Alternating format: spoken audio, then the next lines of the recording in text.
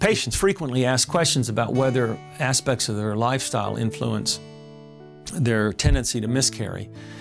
Um, and the short answer is not that we realize in any scientifically uh, credible way. There's some early or burgeoning evidence that, that obesity could adversely impact fertility or early um, pregnancy uh, maintenance. I want to emphasize that that science is not crystal clear with regard to recurrent miscarriage, but, but could well be a hot topic of investigation in the next uh, several years. Another area of medical care that I am involved in and um, uh, try my best to, to make inroads in is um, that of uh, glucose intolerance in pregnancy. Most people recognize the term diabetes.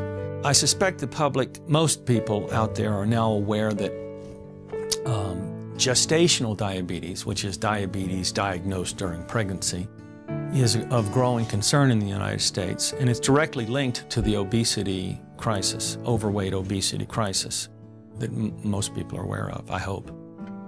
At any rate, the more overweight or obese a patient is, uh, especially a somewhat older mother, the more likely she is to have glucose intolerance identified.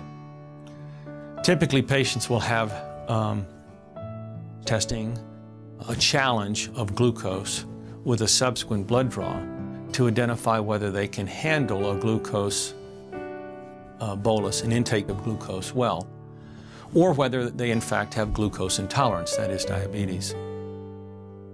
Patients that have been pregnant before know that that's usually done around 28 weeks or so of pregnancy. But increasingly, uh, with overweight or obese patients, we're doing such testing earlier in pregnancy so we don't miss the diagnosis early in pregnancy. Uh, and I think that's most appropriate. What I would like to encourage uh, women who are considering pregnancy to get involved in is proper weight management and activity.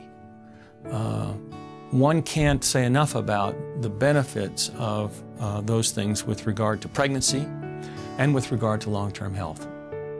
So eating a reasonable uh, diet, uh, both in terms of nutritional status within the diet and in terms of total calories, is what we should be about in the United States. And um, uh, we are not there as yet.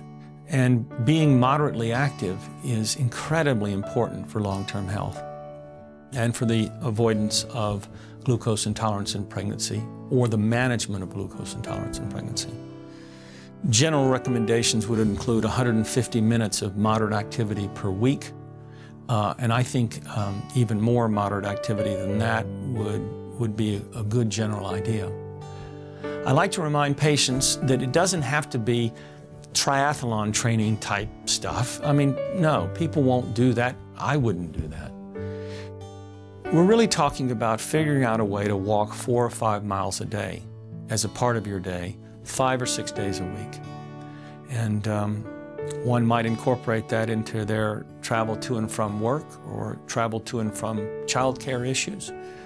One might incorporate that into a stroll at lunch or a stroll in the evening.